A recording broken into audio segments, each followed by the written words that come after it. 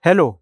So today we are looking at another experiment from the heat transfer set of experiments which is titled heat transfer study of building colors sorry building materials.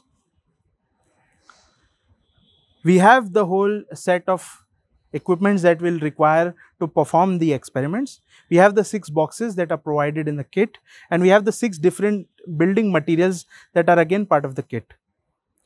We have the ceramic tile, we have the louvered panel, we have the ACP uh, or the aluminum composite panel, we have the concrete panel, we have the loo, uh, cavity glass and we have the plain glass.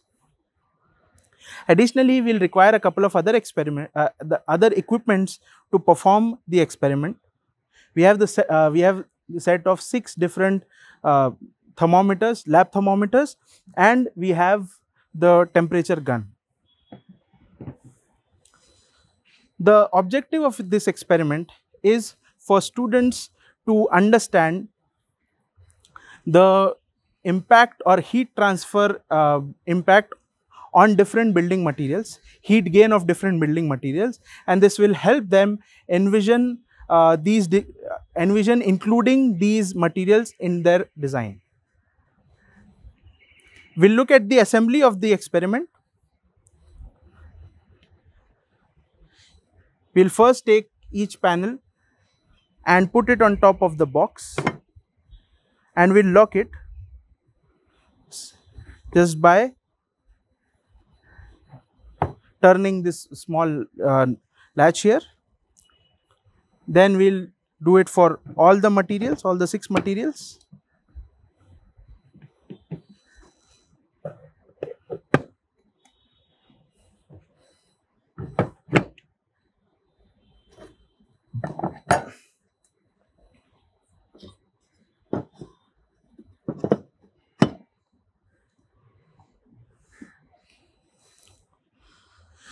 We'll take this thermometer here and we'll put it into the hole provided here in the box.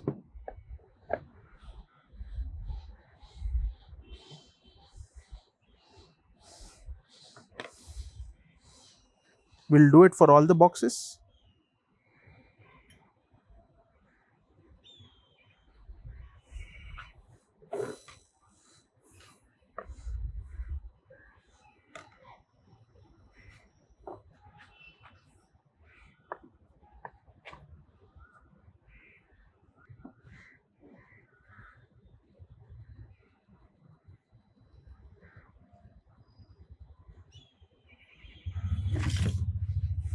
This is the assembly of the experiment. To start the procedure, first I will take a book and for which I will use to note down all the readings for this experiment. Initially, I will take one thermometer and I will note down the ambient temperature reading that I have while I am performing this experiment.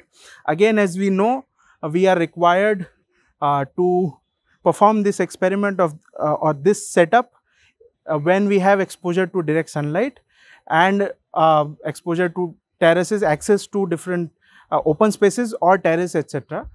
Uh, so, currently the ambient temperature that I, uh, I have here is 40 degrees Celsius. So, I will note that down and I will put this thermometer back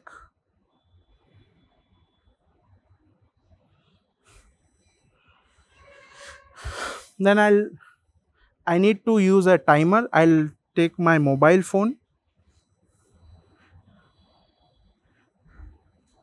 And I'll start the timer here.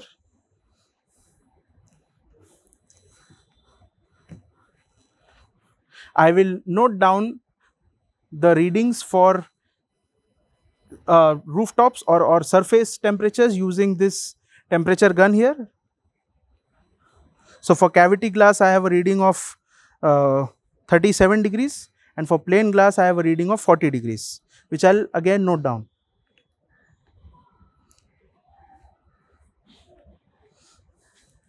Then for concrete panel I have a reading of 42 degrees Celsius and for ACP panel, I have a reading of 41 degrees Celsius, which I'll again note down.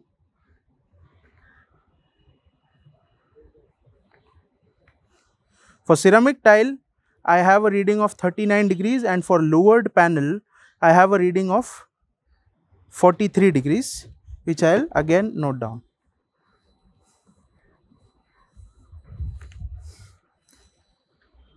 Now, I will repeat this procedure uh, which is to note down the surface temperature of each panel after a minute of uh, after an interval of 1 minute and I will keep doing it for a period of 10 minutes to be able to see the variation in the temperature of to, to see the variation in different surface temperatures.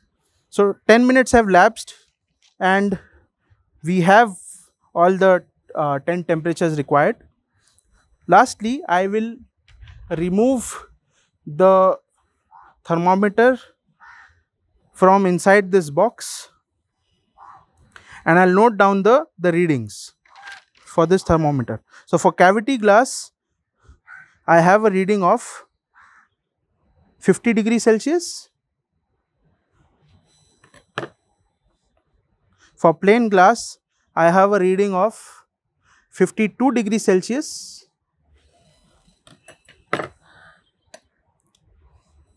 For aluminum composite, I have a reading of 46 degrees Celsius. For concrete panel, I have a reading of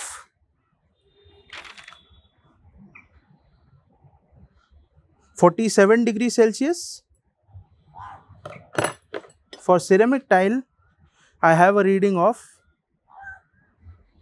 46 degrees Celsius. And lastly, for the louvered panel, I have a reading of 53 degrees Celsius. These surface temperatures and internal temperatures will help me in envisioning which of these materials uh, have good heat resistant properties and that can be incorporated uh, into the design of the structure. Thank you.